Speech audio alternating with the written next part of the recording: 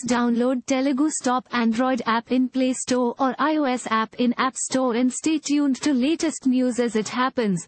New Delhi, September 23. Former Australia cricketer Mark Waugh weighed in on Mohammed Shami's performance, 551st, in the first ODI against Australia in Mohali, saying the Indian seamer was always threatening with the half volley length, he hit the perfect length and that's where he got the batsman caught at the crease, so not too short or not too full.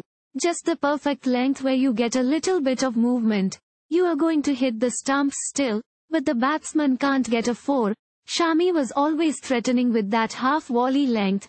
It's a fine margin, but on this type of track, you need to be spot on, Waugh told JioCinema. Meanwhile, Former India cricketer Abhishek Nair spoke about the decision that the Indian think tank has to make regarding the playing 11 and whether it'll be possible to accommodate both Shami and Mohammed Siraj together.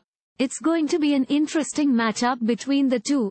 There's going to be this thought process of picking wickets. You got to know the importance of picking wickets in today's game because India managed to bowl out a strong Australian batting lineup where you've got a Sean Abbott batting at number 10. So, it just tells you that when you have bowlers capable of picking up wickets, there may very well be a toss-up between a Shardul Thakur where you are thinking whether or not you are thinking of going with that all-rounder slot or going with an out-and-out bowler who can pick you wickets in every phase of the game, he said. Thank you for watching.